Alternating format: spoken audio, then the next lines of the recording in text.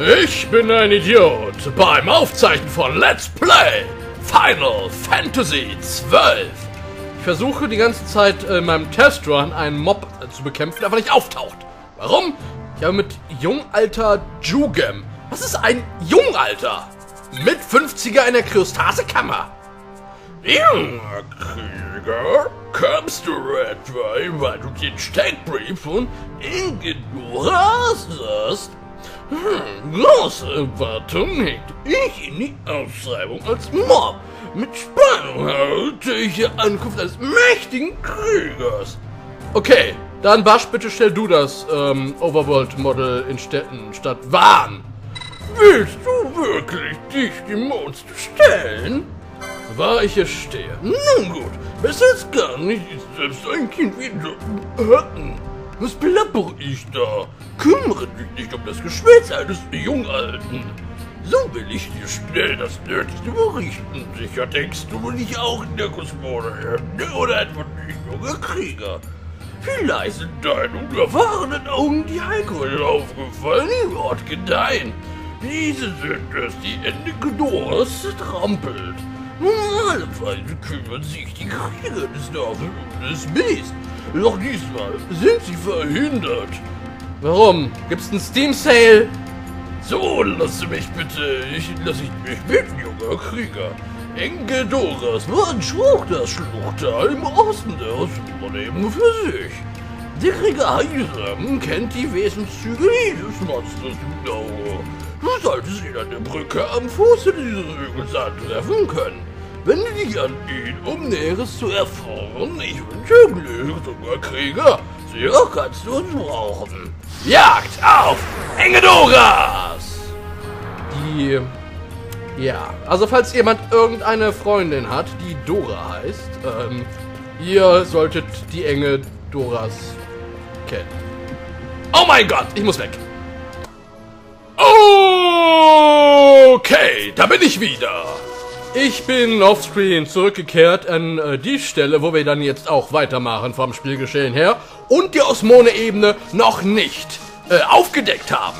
Ansonsten, ich habe meine Gambits ein kleines bisschen entstellt, ein bisschen ähm, umgeändert. Also eigentlich hauptsächlich das von Balthier. Balthier habe ich jetzt so eingestellt, dass er sich außerhalb des Kampfes regelmäßig mit, wie heißt es noch gleich, mit der Berserk Rage Mode äh, bezaubern soll. Weil in diesem Gebiet gibt es, wie gesagt, diese Fluggegner und er ist hier in meiner Gruppe der einzige mit einer Möglichkeit, Fluggegner bekämpfen zu können. Abgesehen von Pinello, der ich ein Gambit eingerichtet habe, dass sie entsprechende Gegner mit Hilfe des Windzaubers behaken soll. Und damit es nicht ganz so lange dauert. So. Ich habe nämlich den Zauber Berserker für Balthir benutzt, weil zu diesem Zeitpunkt ist es mir doch ein Dorn im Auge, äh, wenn es so elend lange dauert, bis er irgendwie mal einen Schuss absetzt, weil Schusswaffen haben ja das Problem, dass sie recht lange brauchen, bis ihre Aktionsbalken aufgeladen sind und dementsprechend irgendwas tun. Ansonsten, diese komischen Viecher, ich weiß jetzt gerade gar nicht genau, wie sie heißen, sind ganz, ganz toll. Hey! Äh, weil sie ähm, zwei Lernpunkte hinterlassen und ordentlich viele Erfahrungspunkte natürlich auch. Wer auf dem Weg hierhin ist, ähm, also ich bin, ich habe versucht, diesen ganz, ich habe doch gesagt, außerhalb des Kampfes, mal vier. Was soll das? Muss ich das noch nachändern? Ja, ansonsten, ne. hier bei den Standardgegnern ist es noch einigermaßen egal und normal. Dies dauert dann nur ein bisschen länger. Ähm, auf dem Weg hierher ist Wahn eine Stufe aufgestiegen. Und ähm, wobei ich allerdings maßgeblich an allen Gegnern vorbeigelaufen bin, weil dieser Rückweg war eigentlich nicht geplant. Ich hatte nicht gedacht, oh, du wirst jetzt vergessen, diesen Typen anzureden. Aber offensichtlich habe ich das leider, leider, leider. Deswegen habe ich gesagt, ich äh, renne einfach an den Gegner vorbei, bis auf, ich weiß nicht, ich habe glaube ich drei oder vier von diesen komischen Pferden angelegt. Autsch! Oh, sie sind gegen Wind empfindlich, das ist gut. Bevor du dich hier mit Klauen aufhältst. Ero! Ich meine nicht Eros. Hör auf, hör auf, auf Laser anzubrechen, er ist nur ein tolles Kind. So, bald 4 ist auch eine Stufe aufgestiegen. Ich weiß es gerade nicht, ob Penello schon eine Stufe aufgestiegen ist. Hau ihn um. Ja, die halten ein bisschen was aus. Ansonsten habe ich jetzt auch endlich mal die tollen neuen Ausrüstungsgegenstände ausgerüstet, mit denen wir hier herumrennen. So, den Typ mache ich noch platt, weil ich das Anti-Aircraft äh, Gambit dann entsprechend auch noch für die andere Gruppe einstellen muss, wenn sie übernimmt. Übernimmt sie. 23, 23. Ne, 24. Okay, Pinello braucht noch ein bisschen was, also rennen wir noch ein bisschen mit der hier rum. Ah, ah war das die Schatztruhe? Nein, nein. Es gibt hier irgendwo noch eine Schatztruhe, wo irgendein Ausrüstungsgegenstand drin ist, den ich eigentlich nicht brauche. Eine Schutzweste oder irgendwie sowas. War am Rand von irgendeiner Schlucht. Ich bin mir nicht sicher, ob es in diesem Bildschirm war oder im nächsten. Ah, sehr gut. Bevor ich, bevor ich jetzt meine Party austausche, werde ich noch kurz den Typen dort hinten erledigen. Und dann mache ich das Ganze kurz danach offscreen. Ich glaube, ich werde für Waren auch irgendwie einen Cloud einstellen für fliegende Gegner. Ich meine, ich könnte ihn auch so weit einstellen, dass er irgendeinen Zauber benutzt, aber na, na. Das Cloud damit könnte mir an anderer Stelle da eventuell noch hilfreiche Dienste erweisen, um mein Konto ein bisschen aufzufüllen, aber was soll's. So, ganz kurzer Schnitt, bis gleich. Okay, da bin ich wieder. Ich habe jetzt diese Truppe hier auch so ähnlich eingestellt, so wie ich mir die erste in etwa vorstelle. Und zwar, Fran wird sich ab zukünftig selbst Berserkern quasi in den Periodenmodus umschalten. Ähm, ui, 880 Schaden. Das macht mich nicht schlecht. Und, ähm, ja, Berserker lohnt sich. Lohnt sich sowas von. Was ich allerdings, obwohl ich mache erstmal das Setup zu Ende. Ich habe, äh, wie heißt der, Basch so weit eingestellt, genauso wie Wahn, dass sie fliegende Gegner automatisch nur beklauen, weil die können sie ja nicht hauen. Also, doch, könnten sie eigentlich, aber nicht so, wie ich mir das jetzt gerade eigentlich vorstelle. Die Magier werden dann in den Klau-Modus überwechseln, also den Standard-Klau-Modus, um zumindest die Chance zu wahren, ein einziges Item durch äh, aus des Gegners Taschen oder Federkleidung zu entreißen. Und, uh, das geht echt gut hier. Aber die Waffen sind noch besser. So, dieser Weg führt mich dorthin, wo ich hin soll. Aber wir haben hier soweit noch nicht alles äh, durchgenudelt. Dieser etwas offensichtlich aussehende Weg, da trauen sich die Helden nicht durch. Äh, Zecken! Äh! Wir haben nicht gescheites Schuhwerk an, oder zumindest hat Ash nicht gescheites Arschwerk an. Meine, da sieht man viel zu viel. Da hocken sich die Zecken an und saugen und saugen. Dieser Weg ist äh, Schokobo only. Das heißt, wir brauchen einen Reituntersatz, um uns dort durchzustehlen. Dort müssen wir auch später lang, aber das werde ich bis dahin soweit aufsparen. Was ich in der letzten Folge nicht so hundertprozentig richtig erwähnt oder ausführlich erwähnte, bei der... Ach so, Tobsucht. Ja, komm, Fran. Mindestens klappt das bei dir so ein bisschen. Äh, was ich in der letzten Folge nicht so hundertprozentig ausführlich erwähnte, ist, äh, dass man bei der Gilkröte richtig Kohle machen kann, weil das ist das Einzige, was man von dir klauen kann. Und zwar auf drei verschiedenen Seltenheitsslots. Ich glaube, der Common Slot äh, sind 1000 Gil, der ich sag mal, Uncommon Slot, um es bei Magic the Gathering, the Gathering Slang zu lassen, ist, ähm, sind 2000 Gil und der seltene Slot, wobei es glaube ich auch mittlerweile so, so ein Mythic Rare Slot gibt, äh, bei den Gegnern hier, genauso wie bei Magic the Gathering, seitdem sie diese komischen Planeswalker-Karten eingeführt haben, ist, ähm, also der, der seltenste, also der seltenste verfügbare klaubare Slot bei der Guildkröte sind 4000 Gil. Und was man machen kann, zumindest habe ich soweit gelesen, ist, äh, man kann hingehen, irgendwas vibriert bei mir gerade, ähm, und kann klauen, bis man was geklaut hat, kann das Gebiet verlassen und wieder hingehen und dann hat die Geldkröte wieder was im Gepäck. Wobei ich jetzt nicht genau weiß, ob man äh, diesen Stil, äh, ob man sie dafür wieder irgendwie neu spawnen lassen muss. Das heißt, erstmal warten, bis das Wetter schlechter ist und dann warten, bis das Wetter wieder besser ist. Ich weiß es jetzt nicht genau, ich habe es noch nicht gemacht. Aber wenn das jemand machen möchte, 1000 Gil jetzt im, im, im schlimmsten Fall oder im schlechtesten Fall, es ist natürlich auch eine gewisse Menge. Ansonsten wurde ich gefragt von Viech54, Bandy Boy, warum hast du denn eigentlich nicht die Gilkröte mit Tobsucht belegt? Hätte, ich muss ganz ehrlich sagen, Tobsucht habe ich im Testrun gar nicht ausprobiert. Ich habe gesehen, okay, das Ding ist empfindlich gegenüber blind, es kann mit äh, stumm belegt werden und es kann mit Gemach belegt werden. Dieses äh, Debuff-Triumvirat ist meiner Meinung nach, wenn man alles drei drauf hat, besser, als wenn man einen Gegner mit Tobsucht belegt. Tobsucht wäre jetzt meine andere Möglichkeit gewesen. Hätte ich dann vielleicht auch mal ausprobiert, wenn Stumm nicht funktioniert hätte, weil Stumm ist crucial bei der Gilkröte. Nämlich Stumm bewirkt, dass sie ihre, ihre fiesen Zauber nicht durch hat. Und äh, sobald die Gilkröte, glaube ich, im kritischen Lebenspunktebereich ist oder unter einem Drittel oder irgendwie sowas, dann benutzt sie Bliss, äh, nee, nee, das ist Englisch, äh, wie heißt es noch gleich? Blisgar, ähm, Eisgar, glaube ich, im Deutschen. Bin jetzt nicht ganz sicher, Entschuldigung. Äh, Eisgar. Und das würde mich sowas von umbringen. Ansonsten hat Tupsu halt noch den ungünstigen Nebeneffekt, dass, ähm, aber dann vielleicht trotz Blindheit, zwar die Angriffe weniger, äh, auch nicht so oft treffen, aber das liegt dann am Blind. Aber es, wenn es zutrifft, oder wenn es mal trifft, dann ist es übler als, ähm, als ohne Tobsucht. Und der Gemacheffekte nicht drauf hatte, der würde natürlich auch äh, ein bisschen zunichte gemacht werden, weil sie dann eine 1,5-fache oder schnellere Angriffsgeschwindigkeit hat. Und das ist nicht gut für mich. Ihr habt ihr gesehen, das war jetzt an, an keiner Stelle, wo ich sagen würde, ach, jetzt lassen wir das mal laufen und dann, dann geht das. Ist alles im Kasten. Ein bisschen Glück war mit dabei. So, an dieser Stelle, wo ich gerade war, kann man oder hier gibt es den Mob-Overkill, möchte ich mal sagen. Zumindest für diese Stelle. Einerseits gibt es hier das enge Doras, oder die enge Doras anzutreffen. Allerdings gilt es nur für den Fall... Moment. Uh, Schwäche? Ja. Äh... Nein, nein, nein, nein, nein, nein, nein, nein, nein, nein, nein, nein, nein, nein, nein, nein, nein. So, wir wollen jetzt uns erstmal hier aufheilen. Aufheilen.